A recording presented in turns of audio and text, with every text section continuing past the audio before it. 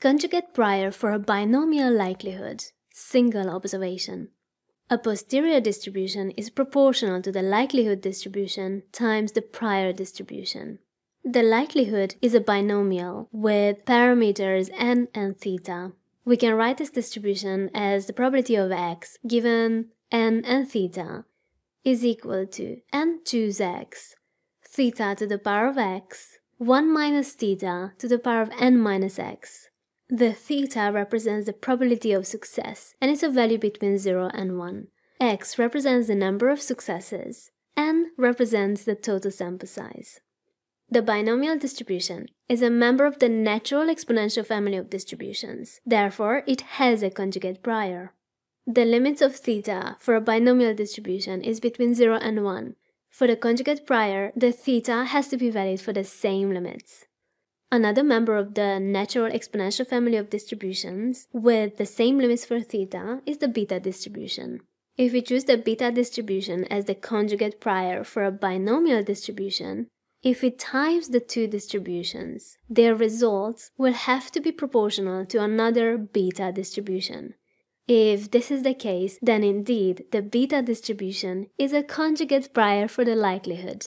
So let's choose our prior to be the beta distribution with parameters alpha and beta. So we can write the distribution as follows. Probability of x given alpha and beta is equal to gamma of alpha plus beta over gamma of alpha times gamma of beta times x to the power of alpha minus 1 times 1 minus x to the power of beta minus 1 the x needs to be swapped with theta because theta is the sample parameter for the binomial distribution. Rewriting this, we will have the following. Writing out the formula, the posterior is proportional to the likelihood times the prior. Because it's proportional to, we can simply ignore the constants.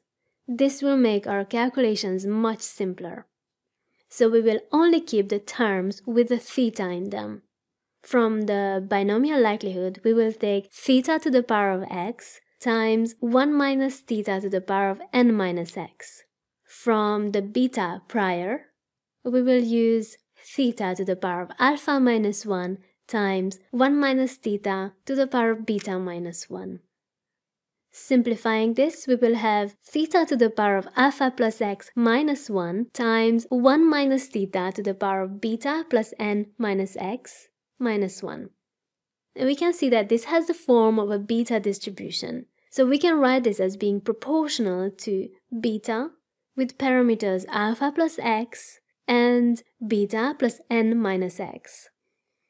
As a conclusion, the posterior is a beta distribution with parameters alpha plus x and beta plus n minus x.